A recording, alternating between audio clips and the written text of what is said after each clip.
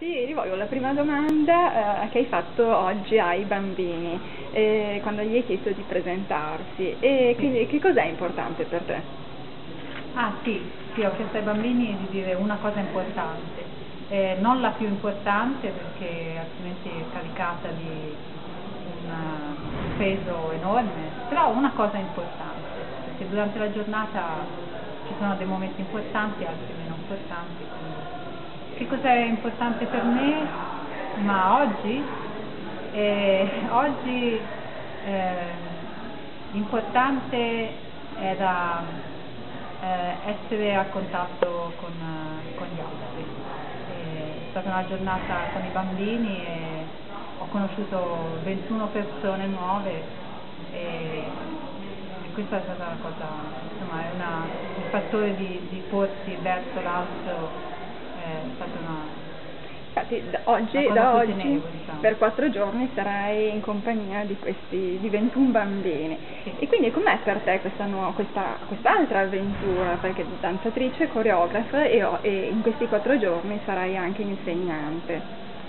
E insegnare ai bambini è un po' una novità per me, ho sempre insegnato a professionisti dall'età dai 18 in su quindi eh, l'incontro con i bambini è un po' una novità, però eh, è come quando gioco con mio nipote, di solito gioco per, per davvero, quindi non, non ho nessun um, pregiudizio sull'età, insomma, il mio rapporto, mi rapporto in maniera naturale con, con la persona, anche se è una persona di età giovane. Quindi è, è interessante perché c'è uno scambio eh, magari un po' diverso, eh, però non, non, rispetto ai contenuti.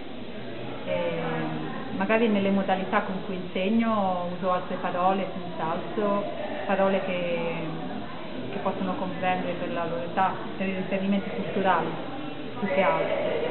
Però a livello di contenuti No, perché comunque nella danza si, si gioca, si, si esplora, queste cose che forse i bambini fanno anche meglio di un adulto, come in maniera molto più insomma, naturale. E cosa ti piacerebbe eh, che si portassero a casa da questi quattro giorni, questi bambini?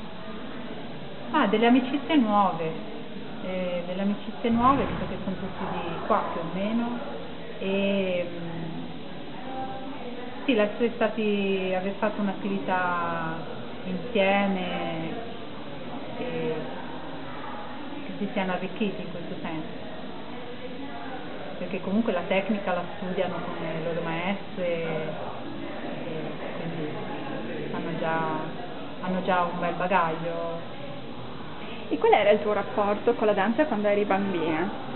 Ma io ho, ho iniziato tardi, ho iniziato a 13 anni, quindi già, non ero più bambina, ero, entravo nell'adolescenza. Ero molto seria, mi piaceva fare le cose per bene, quindi ho iniziato subito come se la danza fosse una cosa seria, la facevo al 100% e non ero sicura di diventare una danzatrice perché avevo altri interessi, interessava la scienza, quindi pensavo di fare il biochimico e invece poi sono stata trascinata dentro, dentro la danza. E quindi quando hai iniziato qual è stato poi il tuo sogno, quello che volevi realizzare in questo percorso? Nella danza? Sì. Ma ehm, non avevo uno scopo ben preciso, da dire voglio andare a lavorare lì o diventare famosa. O, e, ehm, la danza è sempre stata una maniera di, di conoscere che, le mie possibilità, quello che potevo fare col mio corpo. E quindi è sempre stata un'esplorazione sui limiti del mio corpo, su come su come potevo, quali erano le cose che ancora non conoscevo della, dell'istruzione corporea. E quindi questo E cioè Elena Giannotti, danzatrice e coreografa, quali saranno i prossimi progetti di Elena? Ma ehm,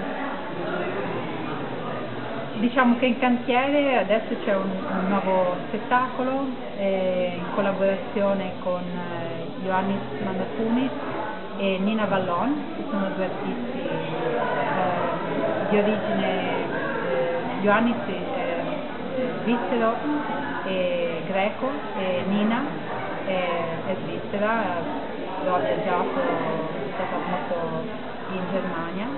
E è un trio, stiamo lavorando insieme, quindi siamo tutti e tre autori e danziamo tutti e tre questo spettacolo debutterà a fine novembre a, in Svizzera, quindi questo è diciamo, un progetto a corto termine.